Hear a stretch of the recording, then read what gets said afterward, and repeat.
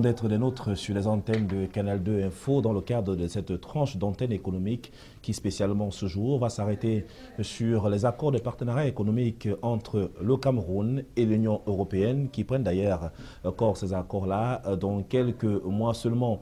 Et puis à la faveur donc de la tenue de ces accords de partenariat économique, on parlera de ce qu'on appelle globalement la certification qui participe aussi de la mise à niveau des entreprises camerounaises face à cette rude concurrence qui s'annonce avec les produits européens qui seront bien entendu développés sur le marché euh, national. Euh, comment accompagner les entreprises camerounaises à faire face à cette concurrence Nous avons donc invité dans ce studio pour vous Jacques Ndebi. Je rappelle qu'il est administrateur directeur général de AB Certification. C'est un certificateur. Son expertise au cours de cette tranche d'antenne nous permettra de comprendre davantage sur la nécessité d'être certifié en tant qu'entreprise. Merci d'être nôtre et merci d'avoir choisi d'être ce canal de info. Soyez les bienvenus. Merci de me recevoir ce matin dans Canal de info pour parler de la certification et de tout ce qui tourne autour de ça au travers des APE. Donc je m'appelle Jeanne Déby, je, suis dans le secteur de la qualité depuis 1986.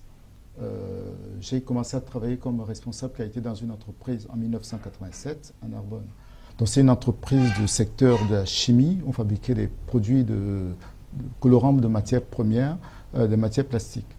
Donc ensuite, à partir de là, j'ai été j'ai créé mon organisme de, de, de conseil pour assister les entreprises à mettre en place ces démarches qualité en 88 à Narbonne. Avec le, concours de la Chambre de commerce de Narbonne, on a pu mettre en place des éléments, de former des personnes là-dessus. Les premières entreprises certifiées que j'ai pu accompagner concernent, sont de 1991. C'est des certifications de produits euh, de la société Altra d'équipement, c'est des d'âge et sécurité qui s'appelle Sécurifran NF. Voilà, pour comprendre très bien, on a affaire à un expert qui est quand même depuis 1986 roule quand même sa bourse dans le secteur de la euh, certification des entreprises qui reste très très très important ce secteur-là. On parlera globalement du Cameroun. Vous avez eu l'occasion donc dans ce pays de voir un peu comment fonctionnent les entreprises. Est-ce qu'il y a quelque chose de manière particulière qui vous a marqué? Est-ce qu'on peut dire globalement que les entreprises camerounaises sont quand même des entreprises qui sont un peu aguerries, pour ne pas dire totalement aguerries, face à la rudesse que pourraient proposer les accords de partenariat économique Lorsqu'on se retrouve au Cameroun avec les accords de partenariat économique, on se retrouve pareil à la situation de l'ouverture du marché commun en 92 en Europe. Donc il fallait euh, préparer les entreprises pour euh, attaquer la, concurrence des entreprises des pays tels que l'Espagne et tout un ensemble de choses comme cela. Donc beaucoup d'entreprises n'étaient pas prêtes. Au Cameroun, on n'est pas prêt du tout. Parce que les grosses entreprises font des démarches et elles ont de l'argent nécessaire et l'économie camerounaise ne tourne pas simplement autour des grosses entreprises, des filiales, des, entreprises internationales. Il y a beaucoup d'entreprises locales qui sont des entreprises familiales qui vont euh, être confrontées à la concurrence. Est-ce que ces entreprises sont prêtes? Est-ce qu'elles sont formées? Est-ce qu'il y a de l'argent nécessaire pour pouvoir le faire? Ailleurs, il y a des subventions qui permettent aux petites entreprises de mettre en place des démarches. Ici, il n'y en a pas. Parce que, par exemple, la mise à niveau, le programme de mise à niveau s'intègre auprès des grosses entreprises, de ceux qui ont les moyens nécessaires pour pouvoir mettre en place les gens qu'il faut. Et justement, la mise à niveau, parlant de, de, cet aspect, autre qui permet à votre entreprise de se mettre à un diapason assez acceptable, est-ce que cette mise à niveau-là ne concerne pas que les entreprises qui pourraient aller sur le marché international, parce que beaucoup se disent, ils sont euh, retractés en disant que bon, euh, on nous demande d'être certifiés, euh, d'avoir des produits normés, aller sur le marché international, on ne pourra pas parce que les moyens qui sont ainsi retenus dans le cadre de la certification de notre entreprise sont assez colossaux. Maintenant, est-ce que ces entreprises choisissent-elles d'être, de fonctionner localement et de jamais aller à l'international? Est-ce que c'est une belle initiative? Ou alors c'est un choix? Je pense que c'est un tort parce que lorsqu'on décide de ne pas aller dans l'international, on a quand même les produits internationaux qui viennent nous concurrencer chez nous. Donc on a intérêt à s'organiser pour pouvoir réagir face à la concurrence des produits qui viennent chez nous. Si nous prenons le cas, je vais aller, je prends le cas par exemple de l'automobile. Donc on s'attend que tout le temps nous réparons des véhicules qui sont de plus en plus évolués, dont les technologies sont de plus en plus évoluées. Est-ce que nos, euh, garagistes sont aguerris à la réparation des véhicules qui entrent? Donc s'ils ne sont pas capables de réparer ces véhicules, ce sont les autres qui viendront les réparer chez nous. Pourtant, ils n'iront pas à l'étranger, ce sont les étrangers qui viendront faire la concurrence chez nous et qui viendront les écraser. Parce que si on s'aperçoit, on se rend compte qu'aucun Yabassi Il y a beaucoup de gens qui vivent de la réparation automobile. Si, par exemple, à partir du moment où ils ne sont pas prêts à mettre en place des certifications de garage, mais tous seront de côté. Il y a l'expérience qu'on a, vécu, a un peu au Sénégal. Par rapport à ça, c'est le début de la délinquance de ces personnes qui ne pourront plus travailler. On a intérêt à faire en sorte que, même si les gens ne pensent pas aller vers l'international, qu'ils se préparent pour réagir face à la concurrence locale qui va les, euh, qui va les retrouver ici. Une concurrence locale qui forcément va être un peu euh, euh, difficile pour les entreprises qui ne se seront pas préparées parce qu'il est question derrière cela de dire voilà ce que nous proposons comme produit. Maintenant, en passant, on va définir, hein, ça pour les téléspectateurs qui nous suivent, un peu l'élément de base qui constitue l'ossature véritable de cette émission, la certification en deux lignes. Comment peut-on la comprendre? La certification en deux lignes, elle est simple c'est une reconnaissance d'une organisation auprès d'une entreprise. C'est de dire, voilà, pour faire telle chose, voici comment je m'organise. Il y a quelqu'un de nôtre qui va dire, effectivement, il a mis en place l'organisation nécessaire, les procédures nécessaires qui garantissent que les choses passent. En fait, il s'agit de ce qu'on appelle l'assurance de la qualité. Assurance de la qualité, c'est de dire que je, voilà tout ce que j'ai mis en place. Il y a quelqu'un qui va dire, effectivement, il s'est assuré que toute l'organisation qui est mise en place va atteindre les objectifs atteints. Ça, demande donc de s'organiser, d'écrire des procédures, de former les personnes, de mettre des protocoles qui fassent en sorte que personne ne puisse se tromper. C'est l'assurance de la qualité. Voilà, justement, en parlant d'assurance de qualité, on sait bien que toutes les entreprises donc, ont intérêt à être normées. Est-ce que cette norme peut, je veux dire, peut intéresser de manière directe les ressources humaines dans une entreprise, peut-être le plan de restructuration, le plan de fonctionnement? Comment dans une entreprise opère-t-on euh, pour véritablement être certifié pour être certifié, on a besoin, déjà, euh, lorsqu'on parle des ressources humaines, la première richesse d'une entreprise, ce sont les hommes et les femmes qui, la composent. Vous pouvez mettre les ordinateurs, le matériel le plus sophistiqué. Si vous n'avez pas les hommes formés, ce matériel vous donnera des faux résultats. Donc la première richesse, c'est la formation des personnes, euh, la capacité, la description des tâches des personnes, l'écriture des procédures qui permettent à chacun de savoir exactement ce qu'il a lieu de faire. C'est donc à partir de là, on va écrire les procédures de recrutement, la description des tâches, l'accueil des personnes au sein de l'entreprise, la mobilisation de toutes les forces d'entreprise vers l'objectif qu'il faut pour l'entreprise, et ensuite euh, les contrôles qu'il faut, les plans de contrôle, les équipements, les étalonnages, euh, la maintenance des équipements, tout cela concourt à la certification d'entreprise. Parce qu'on ne peut pas simplement démontrer que les gens sont bien, mais il faut aussi démontrer que les équipements sont appropriés, adaptés, entretenus, que les résultats des mesures sont fiables, étalonnés et que les procédures de, contrôle sont mises en place. Quand il y a un problème quelconque, comment isoler des produits conformes des produits non conformes pour être sûr que le client est en permanence satisfait Justement, la qualité des produits est à mettre euh, euh, dans un cadre plus restreint parce qu'il faut proposer quelque chose quand même qui puisse intéresser l'ensemble des personnes. Nous allons nous attaquer à un secteur quand même sensible ces derniers temps dans notre pays, le Cameroun. On a besoin d'être certifié à plusieurs niveaux. Vous avez évoqué tout à l'heure le cas euh, des entreprises, notamment des personnes, des hommes et des femmes qui sont à la base, qui sont d'ailleurs même l'élément fondamental donc, du fonctionnement de l'entreprise. Est-ce que dans le cas de nos hôpitaux au Cameroun, on peut dire que la certification peut toucher des secteurs euh, sensibles tels que ceux de la santé Je pense que la première chose, puisqu'on parle de la santé, on parle de l'hôpital, on parle des hommes, on parle des femmes. La première richesse de l'entreprise, de l'État, sont les hommes et les femmes. Si on prend le cas, je prends le cas par exemple du docteur euh, Hélène Ngonkana qui est décédée il n'y a pas longtemps, il faut combien de temps pour former quelqu'un comme ça? Donc ça prend beaucoup de temps. Donc si on se retrouve maintenant dans le secteur hospitalier, on a des médecins qui sont dedans, qui ont les capacités, qui ont l'organisme, par exemple, l'organisme national, l'ordre national des médecins du Cameroun, qui démontrent que les gens sont compétents. Ensuite, on a besoin de l'organisation qui tourne autour de cela.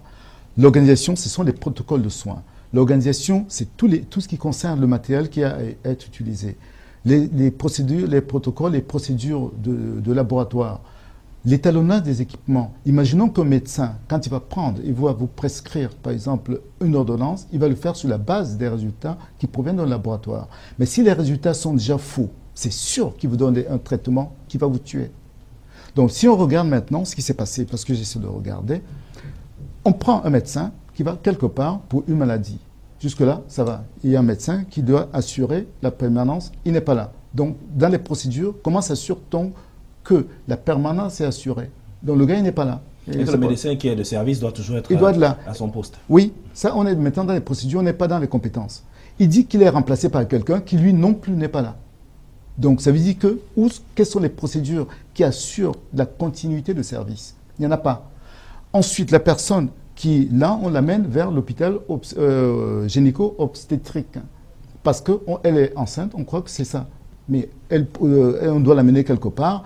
Elle y va, elle va à l'hôpital général. Dans les conditions, il faut une ambulance pour l'amener. Ben, l'ambulance est présente, le chauffeur d'ambulance n'est pas là. Quelles sont les procédures qui sont mises en place pour assurer? Elle va, on fait la, la navette d'un point à l'autre. Malheureusement, la femme perd son enfant, elle décède. Ce cas ce cas, donc quand on regarde les dossiers de suivi, il n'y a rien. Et j'ai aussi des cas particuliers, mais qui touchent propre, mon petit frère.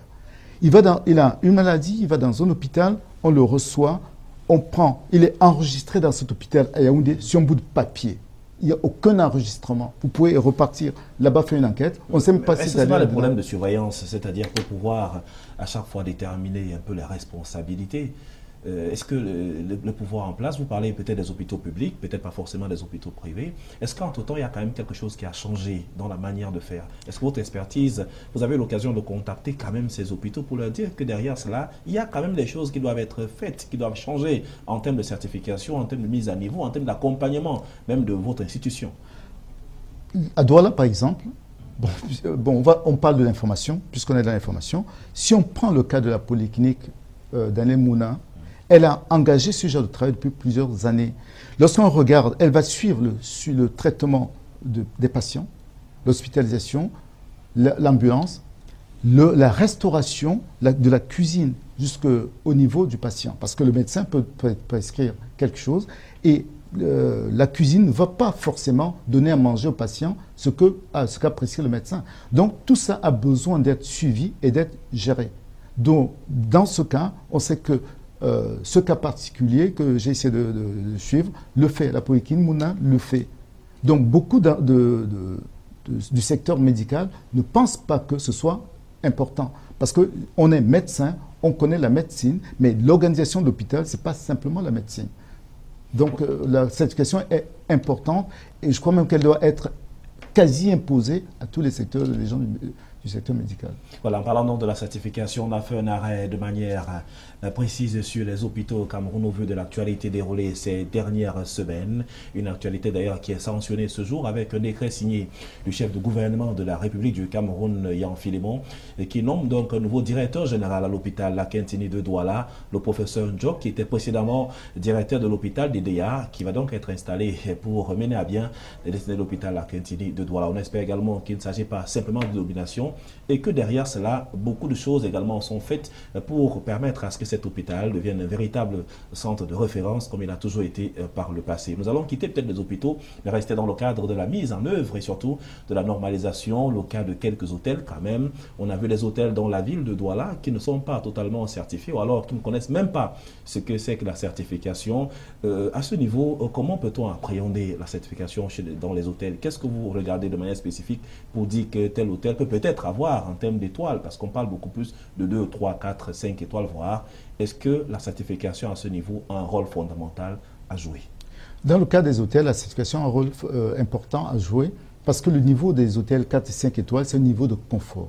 Par contre, la certification va dire à un, client, je vais quelque part, j'ai euh, des problèmes de sécurité, de santé alimentaire qui sont respectés. Si par exemple j'ai des problèmes d'allergie, des allergènes, je sais très bien que sur ma carte de menu, il y a un certain nombre d'informations qui permettent de démontrer que je n'aurai pas de problème de santé.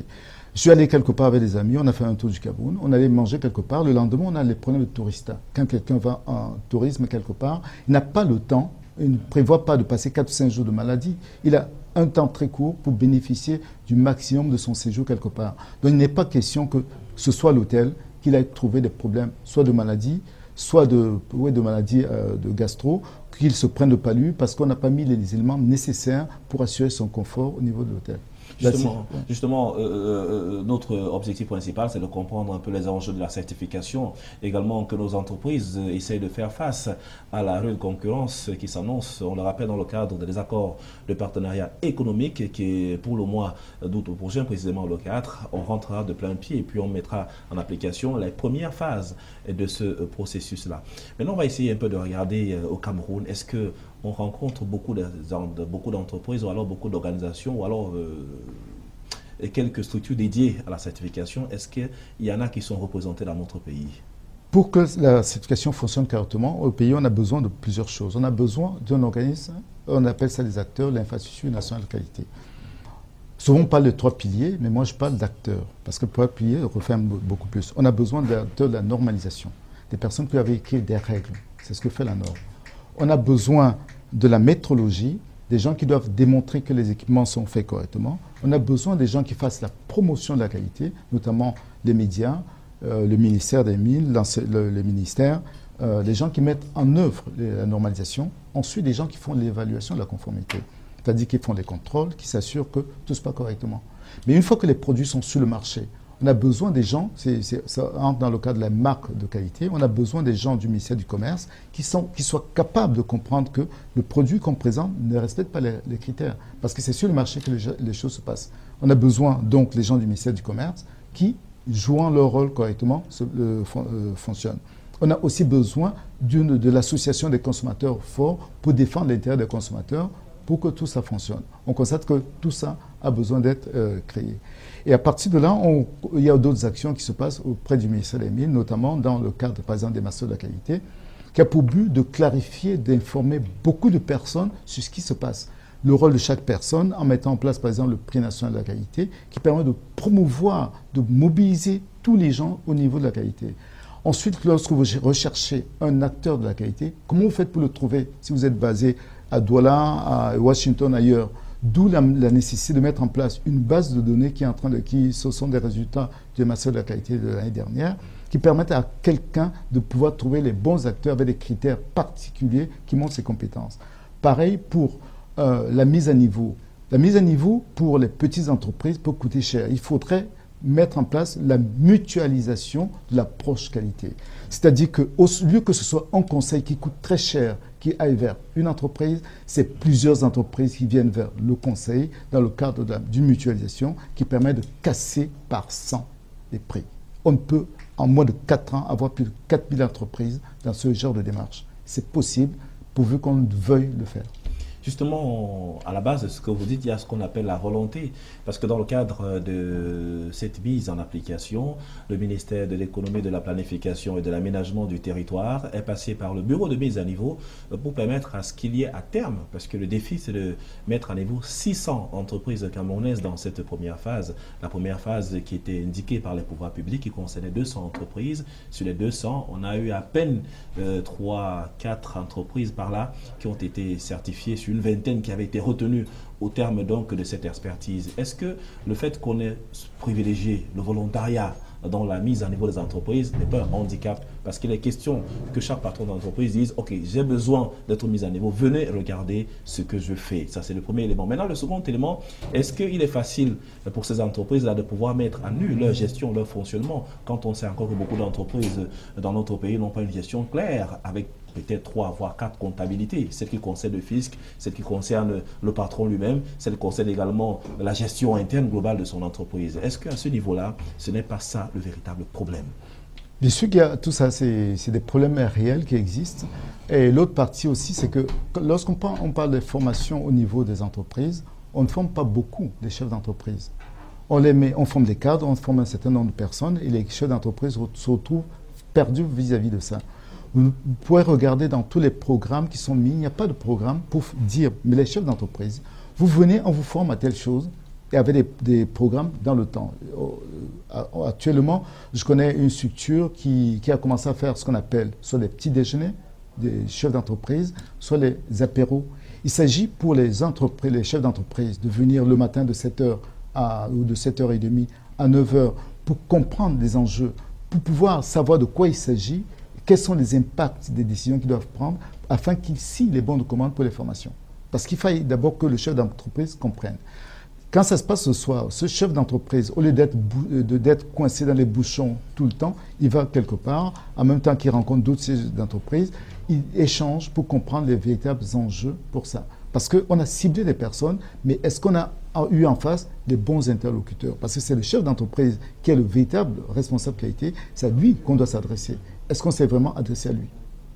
Justement, nous pensons que peut-être l'adresse peut être aussi formulée à son endroit. Parce que lorsqu'on regarde encore les propositions qui étaient faites par le bureau de mise à niveau des entreprises au Cameroun, il était question d'aller vers ces entreprises et que les experts commis euh, donc, euh, à la tâche puissent travailler donc de manière formelle avec les cadres de l'entreprise, avec la direction générale, pour voir un certain nombre de choses à refaire. Mais ce qu'on a quand même déploré dans cette affaire, c'est que du côté des entreprises, il n'y a pas une sincérité dans la présentation des chiffres de manière globale de peur qu'on sait que l'État est uniforme dans la gestion. On a bien peur qu'en donnant les chiffres exacts à l'organisation qui vient nous permettre d'être mise à niveau, alors d'être certifié, et que comme c'est l'État, derrière cela, on puisse transférer ces chiffres au niveau des impôts.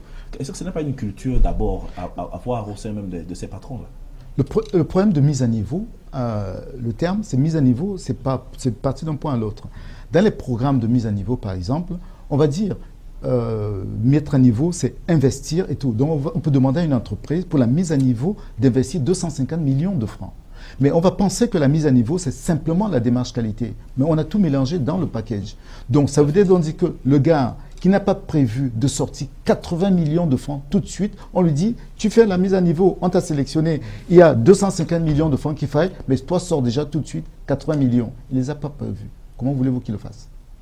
Bien sûr qu'il y a ces notions de comptabilité, mais il y a aussi le, problème qui s'est passé, c'est que quand on dit mise à niveau, on ne segmente pas. On ne dit pas que, bon, tu dois investir ça, tu dois prendre dans la partie qualité, dans mon expérience, dans tout ce que j'ai pu faire, des accompagnements qualité, 50 millions, c'est trop. Donc, quand on dit mise à niveau, le gars comprend 250 millions, il fait des amalgames en, en, disant la certification va me coûter 250 millions de francs. Pourtant, il faut être bien précis dans chaque vocabulaire. Et pour une entreprise euh, euh, quelconque, on sait qu'au Cameroun, on a un peu plus de 120 000 PME qui existent. Est-ce que les 120 000 peuvent avoir les 50 millions qui sont parfois requis pour être mis à niveau?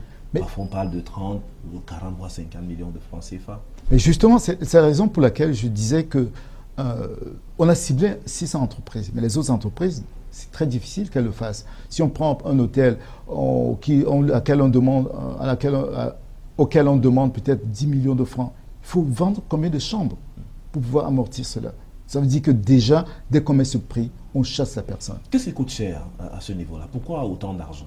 Ah, Ce qui coûte cher, c'est que dès le départ, on a utilisé des consultants dont le coût est élevé. Pour casser le prix, on a besoin de travailler avec les jeunes ingénieurs qui sortent, qui ont des coûts humains.